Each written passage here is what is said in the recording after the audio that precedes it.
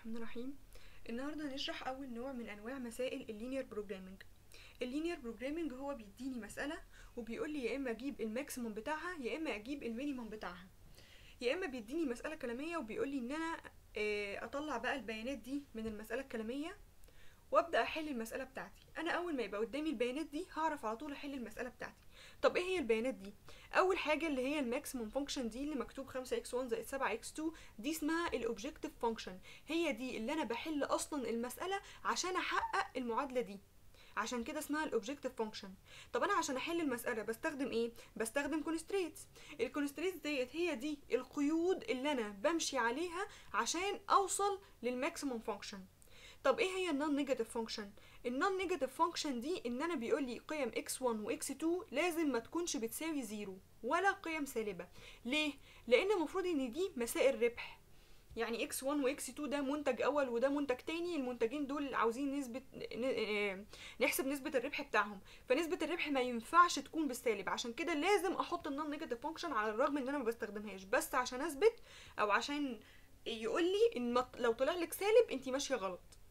وأنا بطلعها من المسألة لازم برضو أحطها عشان أقول إن أنا المسائل المسألة بتاعتي القيم بتاعتها لازم تطلع قيم موجب. طيب أنت هنا بنعمل إيه بقى عشان نحل المسألة دي؟ أول حاجة باخد كل constraint وأحله.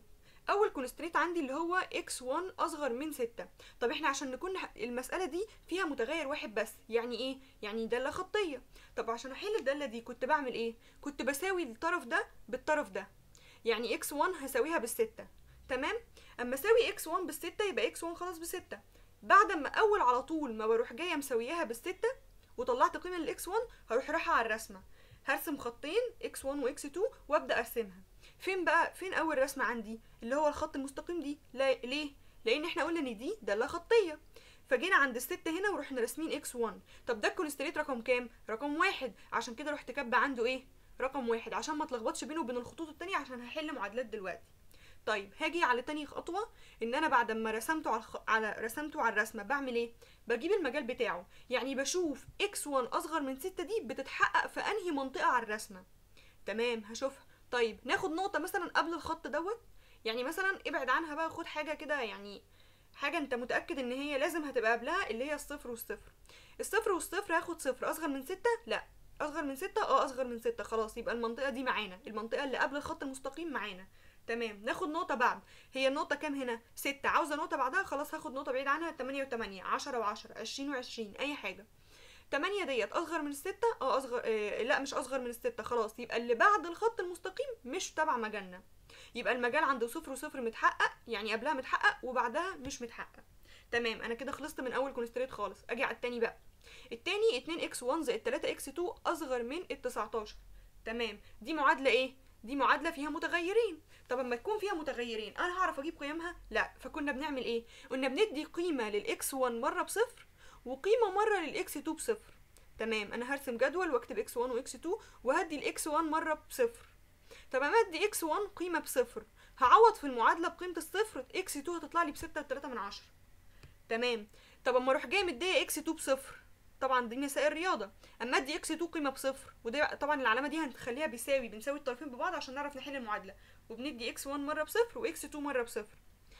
أما ندي ديت X 2 بصفر X 1 هتطلع بتسعة ونص. تمام أول خطوة تمام. إن إحنا جبنا القيم أهي. القيم دي باخدها أعمل بيها إيه؟ أروح رايحه أرسمها على الرسمة. هاجي. صفر وستة وتلاتة من عشرة صفر وستة وتلاتة من عشرة. أهو. القيمة التانية تسعة ونص وصفر. أهي. تسعة ونص وصفر. تمام. أروح موصلة بقى النقطتين دول ببعض. أوصل النقطتين دول بإيه؟ ببعض. وأروح كاتبه على الخط إيه؟ رقم اتنين إن ده الكونستريت التاني عشان قلنا ما نتلخبطش. تمام بعد كده قلنا بنعمل إيه؟ تالت خطوة إن أنا بجيب المجال. تمام هاجي آخد نقطة قبل ديت العمود المايل ده اللي هو رقم اتنين هاخد نقطة قبليه يلا صفر وصفر حاجة بعيدة عنه. صفر وصفر لو عوضت بيها هنا هتبقى أصغر من التسعتاشر أكيد دي هتصفر لي المعادلة فأكيد أصغر من التسعتاشر. يبقى تمام هنا المجال معانا. طيب ناخد نقطة فوقيه. هو هنا تسعة ونص وهنا ستة وتلاتة من عشرة ناخد نقطة فوق عشرة وعشرة مثلا. عشرين وعشرين. ابعد على قد ما تقدر عشان تاخد نقطة صح. ما, ما, ما تجيش تعكلك المجال بتاعك. عشرة وعشرة. أما نعوض بيها في المعادلة دي مش هنلاقيها أصغر من التسعتاشر. يبقى كده إيه؟ آدم ما لقيناش أصغر من 19 يبقى المجال فوق مش متحقق.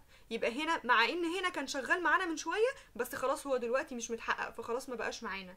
لأن لازم ناخد المكان اللي مشترك فيه كل إيه كل الخطوط اللي بتاعة الكونستريت اللي إحنا بنرسمها. ندخل بقى على تالت واحد. x1 زائد x2 هتساوي 8 هصفر ده مرة وأصفر ده مرة وأساوي الطرفين ب 8 يبقى ده مرة 0 و8 وده مرة 8 و0 تمام؟ نروح جايين راسمينها 0 و8 و8 و0 ونروح كاتبين الخط التالت. أدي الخط التالت أهو وكتبنا عليه 3 عشان يبقى كونستريت 3 هاخد نقطة قبليه مثلا 0 0 هنلاقيها إن هي بتحقق لي المجال 0 أصغر من التمانية تمام. هاخد نقطة قبليه 9 9 و9 هنيجي نعوض بيها 9 و9 18 أصغر من التمانية. لا مش أصغر من التمانية خلاص يبقى المجال فوق مش معانا كده إحنا كونا إيه؟ كونا حتة مشترك فيها كل الخطوط إن هي بتحقق المجال بتاعهم. الحتة دي بقى اسمها إيه؟ اسمها ال feasible area تمام؟ أنا بقى هحقق معادلة ال max بتاعتي. إزاي؟ ال feasible area دي مش ليها حدود؟ تمام.